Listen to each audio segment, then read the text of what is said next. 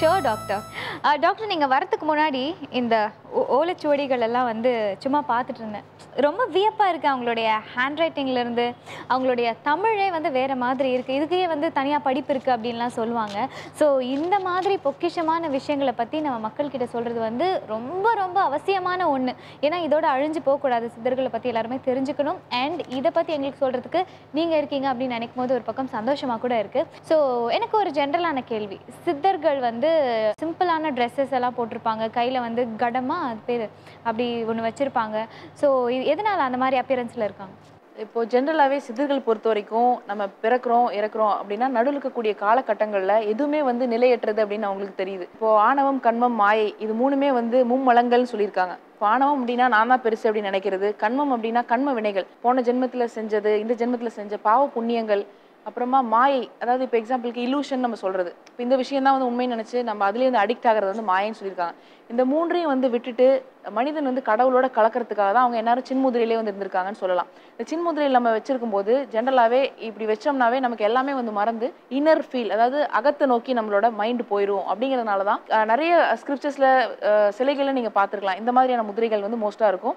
இப்போ எக்ஸாம்பிளுக்கு ஒரு நம்ம கோயிலுக்குள்ளே போகிறோம் அப்படின்னா ஒரு நிறைய சிலைகள் எல்லா சிலைகளிலுமே வந்து வெளியே காவல் தெய்வம் இப்படி தான் இருக்கும். அதாவது கடவுள் ஒன்றே அப்படிங்கிற தத்துவத்தை அது குறிக்கிற மாதிரி இந்த முத்திரை வந்துட்டு ஆணவம் கண்மம் மாயை எல்லாத்தையும் விட்டுட்டு நம்ம கடவுளோட வந்து போய் கலக்கிறதுக்காக தான் முயற்சி செய்யணும். அப்படிங்கிற ஒரு தத்துவத்தையும் இது வந்து உணர்த்துதுன்னு கூட சொல்லலாம். பியூட்டிஃபுல்லாக எக்ஸ்பிளைன் பண்ணீங்க.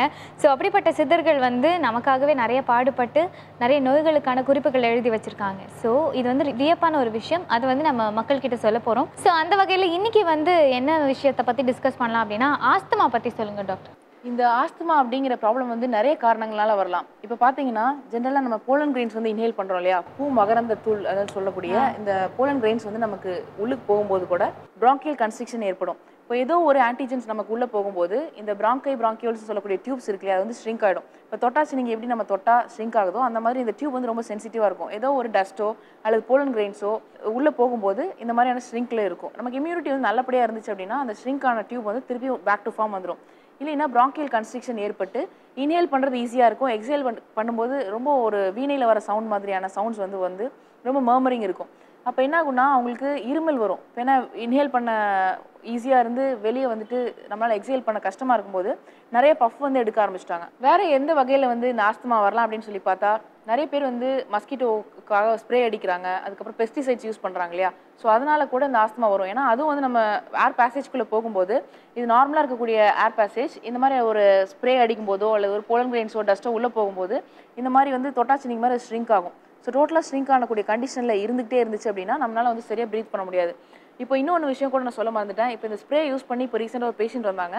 அவங்களுக்கு பார்த்தீங்கன்னா ரூம் ஃபுல்லாக வந்து கரையா மருந்து வந்து அடிச்சுட்டு நான் வந்து தூங்கினேன். அவர் வந்து ஒரு அக்ரிகல்ச்சரிஸ்ட் ஸோ கரையா மரு மருந்து அடிச்சுட்டு நான் அந்த ரூமில் தூங்கினேன். காலையில் எழுந்துச்சு பார்த்தா எனக்கு மூச்சு திணறி பேரலிசிஸ் வந்துருச்சு அப்படின்னு சொன்னார். ஸோ இந்த ஸ்ப்ரே வந்து எவ்வளோ ஹார்ம்ஃபுல் அப்படிங்கிறது நமக்கு இதுலேருந்து தெரிஞ்சுக்கலாம். ரெண்டாவது வந்து நம்ம யூஸ் பண்ணக்கூடிய பெர்ஃப்யூம்ஸ் ஆகட்டும் ஸ்ப்ரே ஆகட்டும் அல்லது ரெஃப்ரிஜிரேட்டர்ஸ் ஆகட்டும் எல்லாமே வந்து யூஸ் பண்ணக்கூடிய ஓவன் முதற்கொண்டு நம்ம ஓசோன் லேயரே வந்து ஓட்ட போடுற அளவுக்கு வந்து கெடுதல் அப்படிங்கிறத நம்ம சயின்டிஃபிக்காகவே ப்ரூவ் பண்ணியிருக்காங்க. ஸோ இந்த ஏர் பேசேஜஸில் வந்து உங்களுக்கு இந்த மாதிரியான கன்ஸ்ட்ரிக்ஷன்ஸ் இருக்கும்போது எக்ஸ்ரேல வந்து இந்த மாதிரியான அப்பியரன்ஸில் ஒரு லங்ஸ் இருக்கும். இப்போ இந்த பிராங்கியல் கன்ஸ்ட்ரக்ஷன் ஆயிருக்கல டியூபை இதை வந்து நம்ம வந்து இந்த மாதிரி ஒரு டியூப் போட்டு தான் அதை வந்து விரிவடைய வைக்கணும் அப்படிங்கிற அவசியமே கிடையாது. நம்ம கொடுக்கக்கூடிய மருந்துகள்லேயே வந்து பிராங்கோ டயலேட்டர்ஸ் ஆக்ஷன் உள்ள மெடிசன்ஸ் இருக்குது இப்போ ஈஸியாகவே வீட்டில் நம்ம இந்த பிராங்கோ டயலேட்டர்ஸ் இருக்கக்கூடிய மெடிசன்ஸ் வந்து எப்படி எக்ஸ்டர்னலாக அப்ளை பண்ணுறது வீட்டிலே செய்யலாம் அப்படின்னு பார்க்கலாம். கற்பூராதி தைலம் அப்படிங்கிற ஒரு தைலம் வந்து நம்ம வீட்டிலே செய்ய முடியும். ஓமம் இருக்கு இல்லையா ஒரு கையளவுக்கு எடுத்துட்டு லைட்டாக தண்ணி தெளித்து அம்மியில் அரைக்கணும். அல்லது மிக்சியில் கூட அரைக்கலாம். அரைச்சிட்டு ஒரு உருண்டை பதத்தில் எடுத்துக்கணும். உருண்டை உருட்டுற மாதிரியான ஒரு பதத்தில் தேங்காய் எண்ணெயை வந்து சூடு பண்ணிவிட்டு அதில் வந்து இந்த ஓமத்தை வந்து கலந்துடணும். அந்த ஓமம் வந்துட்டு கலந்துட்டே இருக்கும்போது மணல் பதத்துக்கு வரும். போட்ட ஓமம் வந்து மண் மாதிரி மணல் பதத்துக்கு வரும். அந்த டைமில் அதை ஆஃப் பண்ணிவிட்டு ஒரு சில்வர் வடிதட்டி இருந்துச்சுன்னா அதில் பச்சை கற்பூரத்தை போட்டுட்டு லைட்டாக சூடு சூட்டு இருக்கும்போதே அந்த பச்சை கற்பூரம் மேலே இந்த ஓமம் தேங்காய் எண்ணெய் கலந்த அந்த ஆயிலை வந்து நம்ம அதில் ஊற்றும் போது கற்பூரமும் கரைஞ்சு அதில் வடிஞ்சிரும். எதுக்காக கற்பூரத்தை நம்ம முன்னாடியே நம்ம அந்த ஆயிலில் வந்து போட போடல அப்படின்னா கற்பூரம் வந்து ஆக்சுவலாக வேப்ரைஸ் ஆகிடும் ஈஸியாக ஸோ அதனால் நம்ம கடைசியில் தான் அந்த கற்பூரத்தை வடிக்கும் போது தான் சேர்த்தணும். ஸோ இந்த ஆயில் வந்து நம்ம எடுத்து வச்சுட்டு இந்த ஆஸ்துமா பேஷண்ட்ஸ் வந்து எக்ஸ்டர்னல் அப்ளை பண்ணிட்டு வந்தாங்களாவே நல்லாவே ஒரு ரிலீஃப் தெரியும். ஓகே ஆஸ்துமா பற்றி மட்டும் இல்லாமல் அதுக்கான மருத்துவத்தையும் தெரிஞ்சுக்கிட்டோம் ரொம்பவே பயனுள்ளதாக இருந்திருக்கும்.